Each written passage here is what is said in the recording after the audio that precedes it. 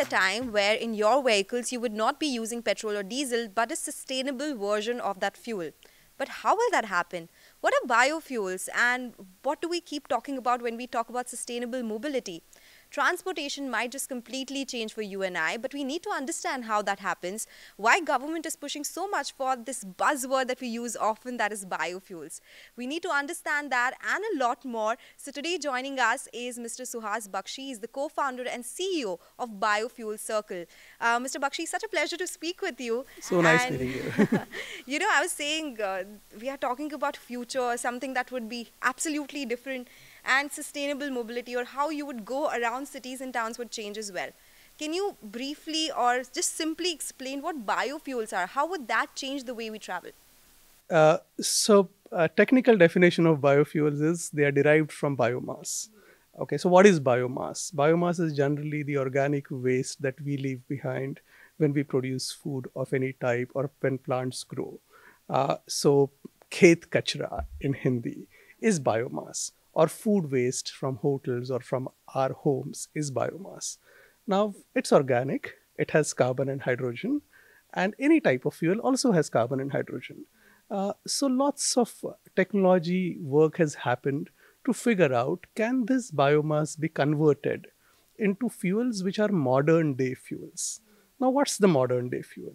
When you and I fly, the aircraft is using uh, aviation turbine fuel can that be made out of biomass? When uh, you and I drive, we drive a car, it uses petrol or diesel. Can that be made out of biomass? Now, that has been a question which has been a prominent question faced by technologists around the world, and they have definitely found a solution to that. So, I would say modern biofuels are those fuels which are made from biomass, but for end use applications, which are today's end use applications. Okay, so uh, you know you spoke about different types of biomass. Are we already using? Is there any proven technology where this particular waste will be used as biofuels? Is that already happening? So once again, let's uh, draw a comparison between what are fossil fuels and what are the different applications of fossil fuels. Uh, what you and I don't realize is that the power which is lighting this room is most probably come from a power plant which is used some type of fuel. And in most likelihood in our country, that is a thermal power plant, uh, which has used coal uh, as a fuel. So you have solid fossil fuels. Uh, one of the most, uh, I would say, organized and mature uses of biomass is replacement of coal in power production or energy production. Uh, so if you are just able to imagine that uh, there is agricultural residue available at the end of a harvest season in a plant uh, in a field. If you are able to gather that if you are able to densify it make it as similar to coal as possible in fuel properties then it's a ready replacement. Now this type of use has been prevalent in india for many years. Uh, rice husk bagasse uh, and several different types of agricultural residues have been used for power generation and steam production in, in industries for a long time. But given the fact that this is industrial end use, most people are not completely aware of it. And also, this is a small portion of the overall energy mix.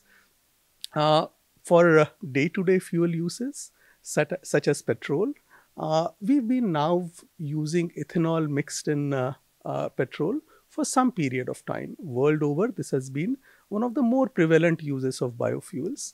Uh, so ethanol, which is made out of agricultural residue, uh, coming, coming in as a blending uh, alternative for petrols has been prevalent. India has a very ambitious target towards that.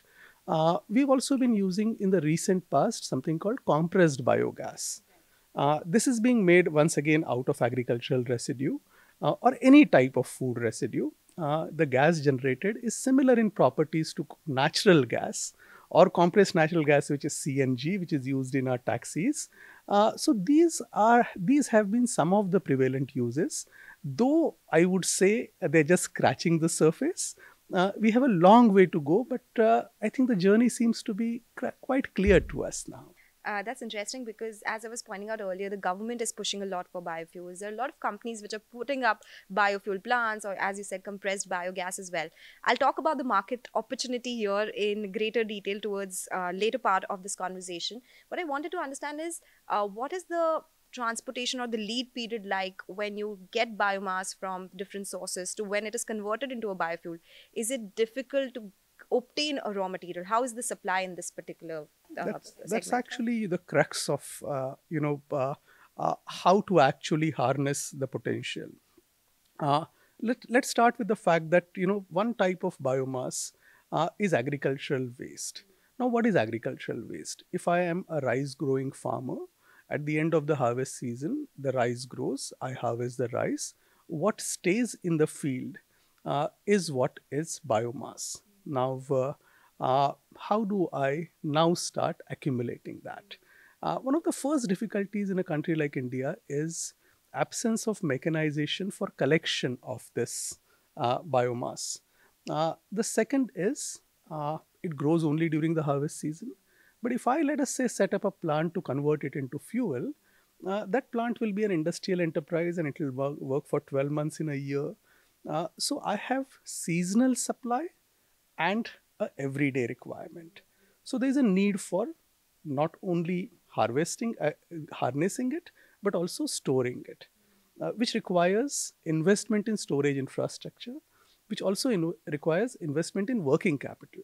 Uh, so availability of storages and cost of working capital is the second strong constraints that constraint that we see right now.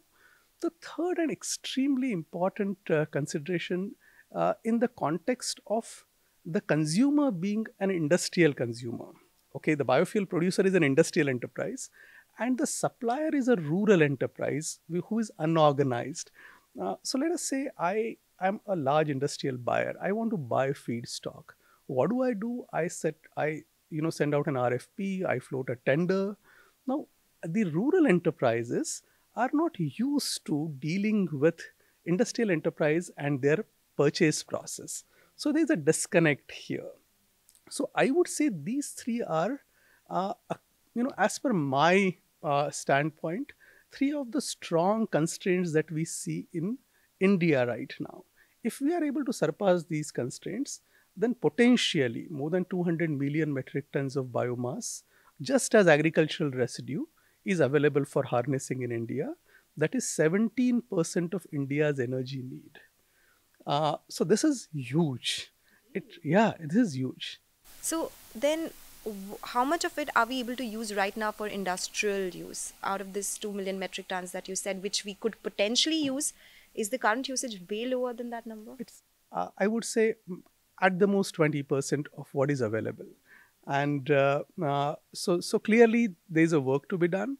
Look, uh, these, the fossil fuel supply chain took 150 years to build so you've got a global supply chain of crude oil, you've got a global supply chain for coal, you've got a global supply chain for everything. But look, it has taken a long time in making. Uh, this is an opportunity which is which is a big opportunity. Uh, but to create a supply chain and which works in exactly similar structure as the fossil fuel supply chain, uh, I think uh, we have an opportunity. But we have to do what was done in last 150 years in probably a very short period of time.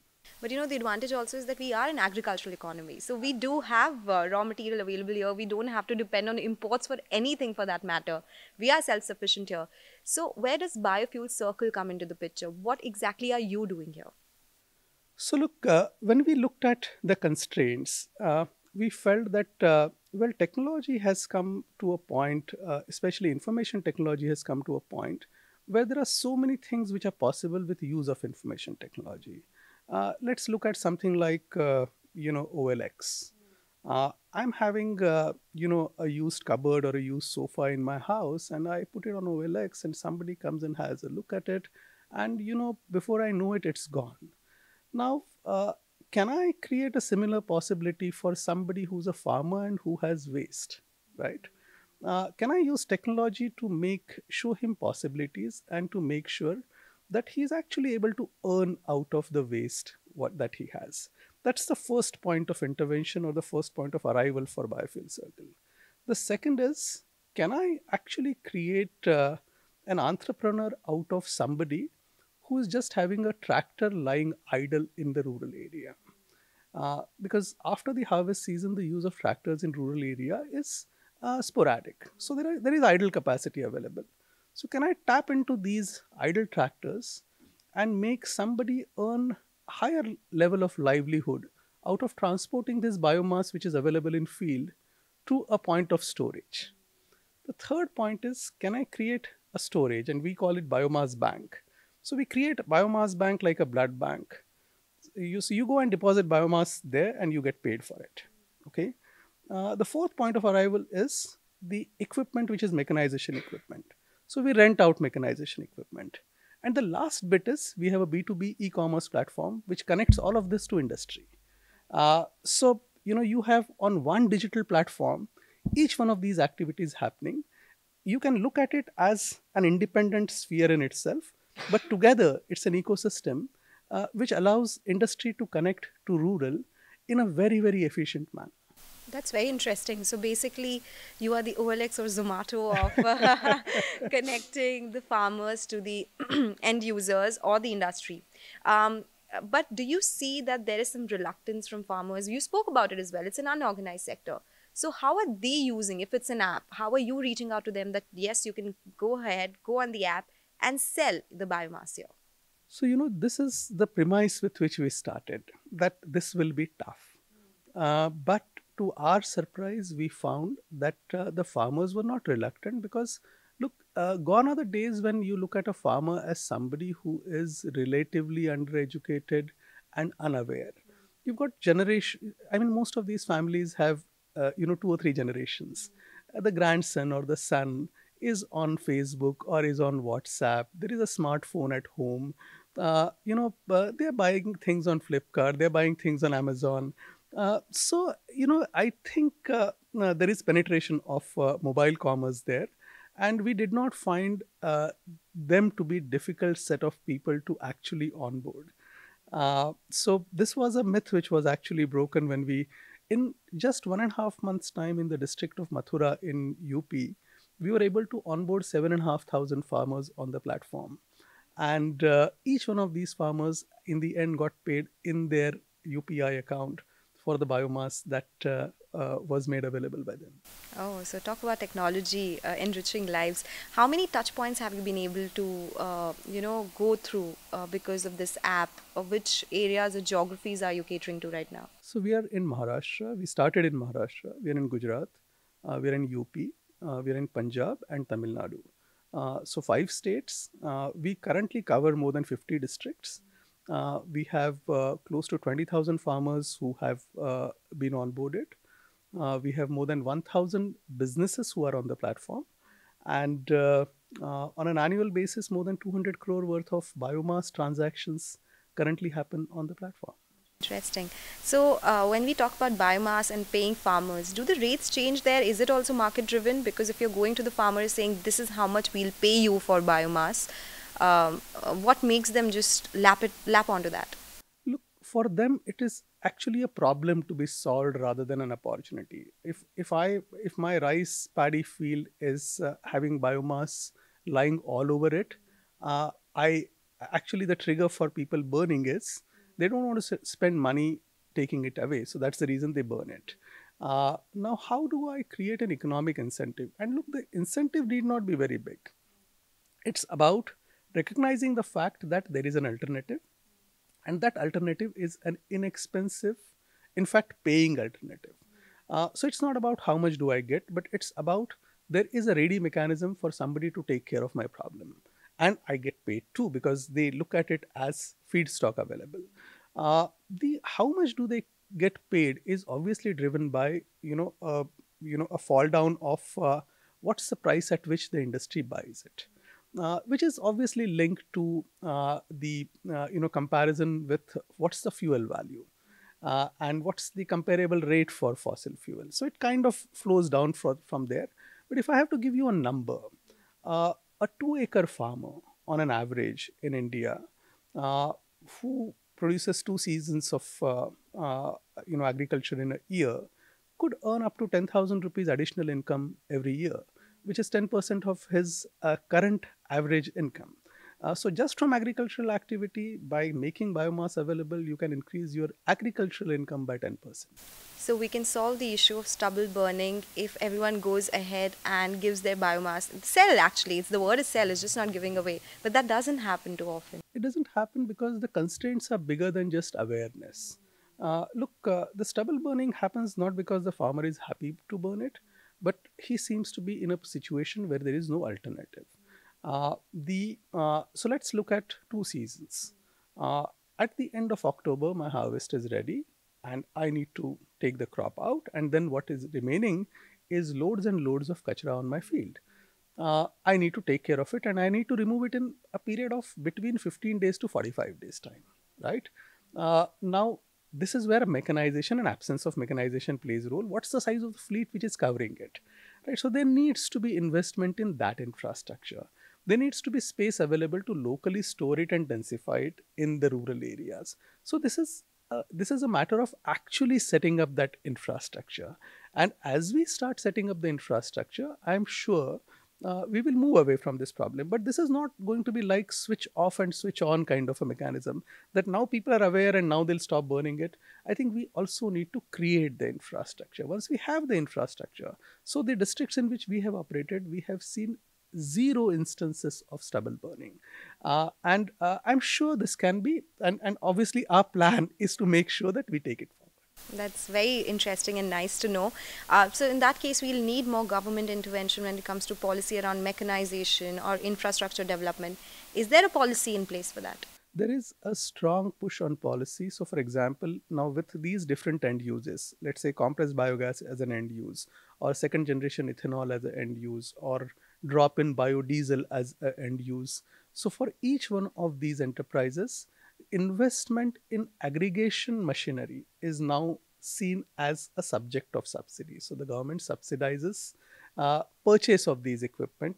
Uh, the government also uh, you know encourages farmer producer companies. Now farmer producer companies uh, are uh, entities which are coming into picture as farmer collectives and so if there are farmer collectives in the rural areas and, and if the farmer collective wants to invest in these equipment, once again they get a subsidy. Uh, so there are, I think, several different models of uh, uh, you know enterprise creation which are possible. Uh, there is a strong push towards uh, uh, investment in this infrastructure. there is also, in several cases, a combination of reward and penalty which local administrations offer uh, for making sure that stubble burning does not happen. But the way I see it is like we created enterprises which are based on grain. Uh, we need to create enterprises which are based on waste.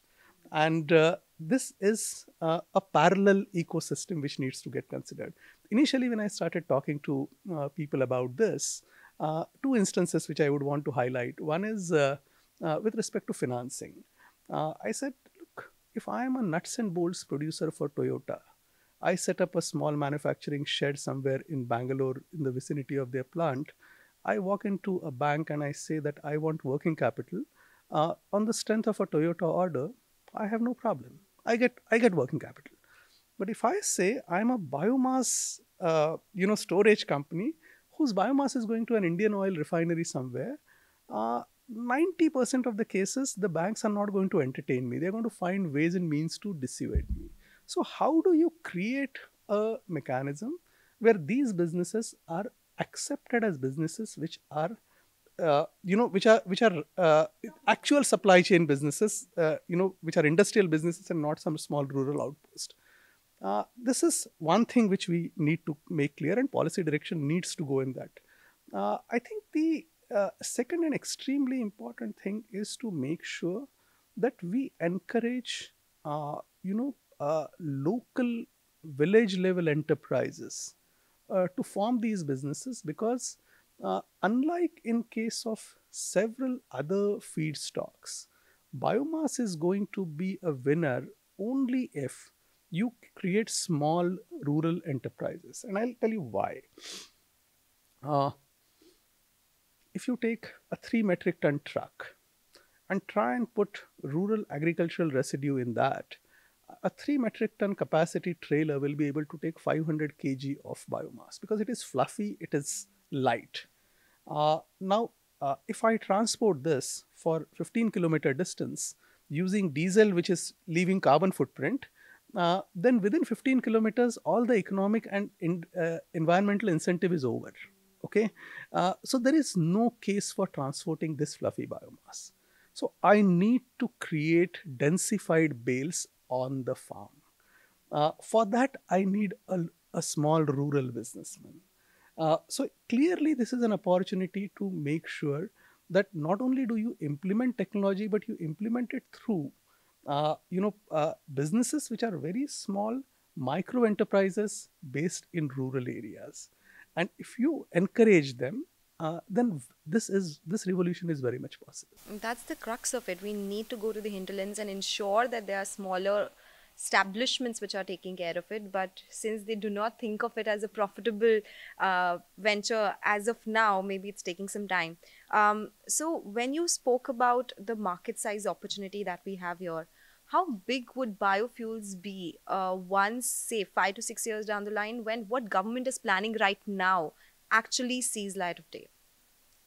any estimates that the market has put so look i think uh, the moment you come to estimates uh, it's it's something which is everybody's estimate is going to be different but if one has to look at what is the least common uh, you know uh, baseline that people draw uh, i would say combination of agricultural residue biofuels and very interestingly something called biofertilizers uh, see when you take biomass and convert it to fuel only 15% of it gets converted to fuel. See, chemically, what you're taking is mixture of carbon, hydrogen, and several other elements which have come from the soil, right? So, uh, what you take out is uh, as fuel from biomass is only 10 to 15% of biomass by its weight. The balance which remains is the sludge. That sludge is actually rich biofertilizer. Uh, if you're able to take it back to the uh, you know to, to the same farm, uh, you are going to have a big play in the soil nu- nutrition business too. So if you combine these three, my take on this is a $50 billion market by 2030. That's a huge opportunity. That's no wonder the government is also tapping on it. And of course, it promotes circular economy. That's the basic idea of going for biofuels. Are they as effective when it comes to their utilization versus the fossil fuel, say petrol and diesel, in terms of mileage? How many kilometers can one travel if they use a biofuel vis-a-vis a pure petrol, not with any blending? Is there any maths that is done on that? So I'll give you example of compressed biogas. Compressed biogas is uh, same fuel value as compressed natural gas. Uh, it has uh, uh, same fundamental efficiency which would which you would get out of the fuel. Uh, so uh, technology will allow you to create a fuel derivative which is same as the fossil fuel. There is absolutely no difference. Uh, drop-in fuels, and you know there are a lot of small units which produce through a process called thermal cracking drop-in biodiesel, and this is same as diesel. Uh, so uh, I do not believe that uh, the end use applications are going to be inefficient. Yeah, that that is one worry that people have. Maybe that efficiency would be lower. And would they have to pay any higher amount for this? I wouldn't say because petrol and diesel are already quite expensive. so I wouldn't want to say any more costly than that. But is that a fear as well? So I do not know how will the pricing mechanism emerge over a period of time. Right now, almost everybody pegs it to what is the current price of the equivalent fossil fuel, and that's the price at which you make it available. Uh, the uh, but I'm sure over a period of time, your prices would be driven by what is the cost structure of producing it would be. Uh, so I would say we may not have to go to benchmarks, which are these global benchmarks for uh, what should the price be. We may actually be able to come up with our own price structure based on what's the cost of making it available. Yeah, and that is something that will take some time. So we need to figure it out, considering the market at that time. You said that globally biofuels are a big thing already. Um, can you give us some examples? Brazil, for once, has seen the highest ethanol blending that any country has seen. Uh, where do we stand vis a vis global markets in terms of usage of biofuels? I just want to understand a comparison, maybe qualitatively also, but where do we stand? I think India is definitely one of the seen as one of the leaders in the biofuel world. Uh, Brazil uh, has been a pioneer in several different ways. Uh, US has uh, uh, always been a strong player as far as ethanol is concerned. Uh, India has not is not behind, both from a point of view of uh, where does the government put the policy, uh, you know, in place? Uh, where does the technology stand? What is the industry readiness to actually implement that technology? Uh, I think on all these fronts, India is definitely one of the leaders uh, as far as uh, bioenergy is concerned. And uh, I would say this is uh, definitely an opportunity for India uh, to to be in a position to proclaim a strong global leadership uh, in an industry segment. So, is this why we had Global Biofuel Alliance during G20? How is that changing? Changing the way we are looking at this industry. Are there many countries a member of this alliance? Uh, so the Global Biofuel Fuel Alliance is definitely a result of the fact that uh, so G20 happened in India. Uh, bioenergy was one of the streams uh, for global discussions, uh, and uh, given the fact that India finds itself on that pedestal where it is one of the global leaders, I think you know the initiative was taken and uh, the stage was right. Uh, I do believe the collaboration will lead to number one. Uh, strong technology alliances between uh, member countries. I mean, uh, look, if some work has happened uh, at a faster pace uh, on CBG in India, vis-a-vis some work has happened on second generation or third generation ethanol somewhere else. I think these alliances will, uh, you know, uh, you you will find a lot of these alliances actually happening based on uh, uh, the fact that Global Biofuel Alliance has been created. I would expect this to actually drive uh, creation of a framework for uh, carbon neutrality. Uh, because uh, biomass driven carbon neutrality has not been a subject which uh, has ever been addressed at uh, the global level at such a scale. So, there is an opportunity that this alliance has to actually create maybe a more meaningful structure for carbon credits using biomass as a base. So, you know, uh, while you were saying that, a couple of questions popped up in my head. One of it is when we say we'll use biofuels, will we use it in entirety or will we be blending it with fossil fuels? The start will always be through blending uh, for a reason which is linked to the fact that most of the applications that you're talking about are uh, applications which are reliably working right now. So, for example, if you take a power plant, uh, uh, is it possible to use 100% biomass to produce power? Answer is yes. Okay. Uh, but are there systems ready right now to start using it? Uh, is the reliability in that particular power plant proven for 100% shift? Uh, so the start will be with 5% blending. It will move to 20% blending. Uh, over a period of time, as they are doing investment into new infrastructure, their investment then will be for biomass driven infrastructure. So you will go to a larger usage of biomass. So it's not about whether it is technically possible, but it's about what is the transition process. And the transition process will have to be a staged transition process because you don't want to disturb the end, uh, you, you know, the, the, the users of it. Uh, you know, so it's a, it's a little bit like uh, the fertilizer scenario.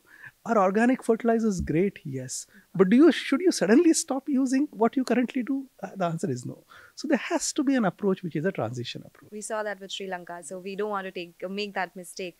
But when you say it has to be stage by stage, but there could be one day when all our vehicles are run purely on biofuels. There could be a possibility that that will happen.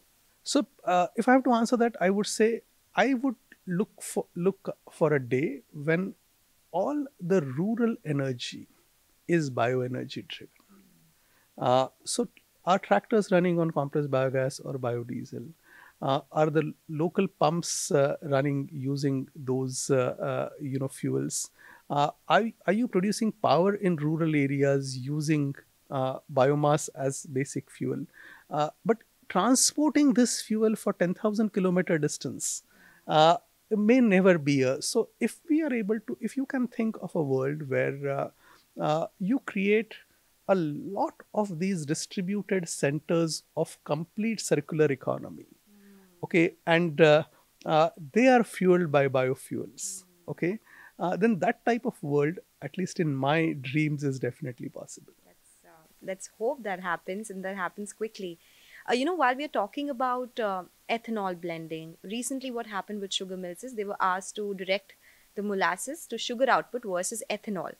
Do you think that is something which would hurt the uh, targets that we have in terms of 20% blending? Or do you think government intervention sometimes could hurt the sector in some way?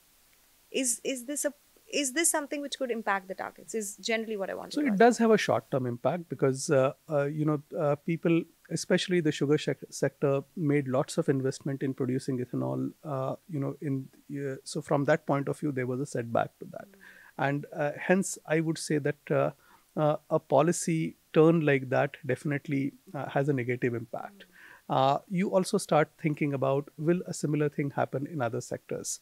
Uh, so from that point of view, obviously, uh, such a turn is uh, not a nice thing to happen. Uh, does it very strongly impact the larger long-term direction?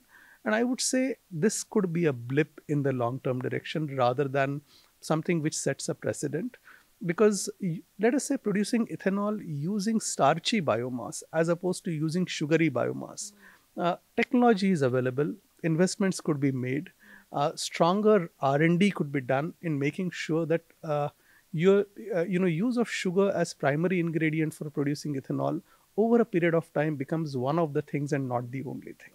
Uh, so, uh, but it's long term and it's not short term. So, in the short term, uh, this policy definitely gives a negative vibe, has a negative impact. Uh, but I still believe that in the long term, there are several different ways in which uh, there, the target could be made. And let's hope that happens. You briefly also mentioned about 1G ethanol, 2G ethanol. For the benefit, can you explain what the difference between the two is? And we are using 2G ethanol right now. Is it correct? So the first generation ethanol is almost always using, uh, you know, molasses to uh, create ethanol. Uh, as uh, or molasses or for that matter any form of uh, you know sugar uh, or sugar product as uh, uh, an ingredient to make ethanol. That is first generation. Second generation is you start using starch as a base. So starch as a base would mean that the biomass which is available as you know the the waste in the field could potentially become the usable biomass for making ethanol this is the plant, this is the technology in which IOCL has invested in Panipat to create a second generation ethanol plant. Uh, it's relatively new from a technology point of view, and hence uh, the investments are big. Uh, so more and more such plants coming up, and most of the oil companies are setting up these plants. Uh, so you would find biomass driving production of ethanol over a period of time. Uh, even here, uh, there could be uh, there could be several different ways to look at how to drive the feedstock availability and creating ethanol.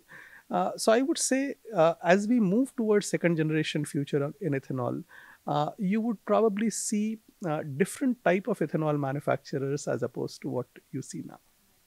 So, which are the big players right now who are investing in the space? You said some of these oil marketing companies, IOC, putting up the Panipat plant. Are there any other companies which are taking big strides in the biofuel space?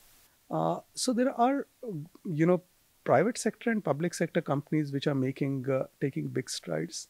Uh, the companies which are uh, making big investments in the biogas space includes the Reliance Group, includes Adani's. Uh, there is a German multinational called Verbio, uh, so these are uh, some of the stronger names in addition to the PSUs like, Indian Oil, HPCL, and BPCL. Uh, so these are the companies who are making very large investments. You do find, uh, you know, uh, mm, sugar sector becoming quite alert to the fact that this is a horizontal diversification possibility for them. you do find a lot of power sector EPC companies uh, looking at this as uh, uh, you know an area to be present in. And uh, last but not the least, you also find companies getting into things like biochar. Biochar is an interesting alternative. so, can I get biomass and not convert it to fuel, but get con- converted to activated carbon? Uh, so that's also a possibility. So look, technology shows various different pathways, and you see companies making investments uh, in some in some places small, but in some cases very big and ambitious. That's so good to know. And in the last couple of climate clock conversations that I've had, the core point has been how you can use that technology for distribution. So you have the product ready, but you need to distribute it well. As you said, we need to go across to villages and ensure that they look at it as an entrepreneurship uh, opportunity rather than thinking that it'll take so much investment. But thank you, Mr. Baxi. It was such an enriching conversation. We learned so much about such a technical conversation generally that people would say that what are biofuels? How would it impact everyone? And as you said, some big companies are making some big investments and they have ideas here as well. So such a pleasure. Thank you so much for joining us. It has been a pleasure talking to you too. Thank you so much. Okay, all right. With that, we'll uh, wrap on this conversation. But you keep writing to us. We've been getting a lot of queries, a lot of comments. So let us know what you want us to talk about, and we'll do that on the podcast again. But thank you so much for being such an amazing audience today. Thanks a lot.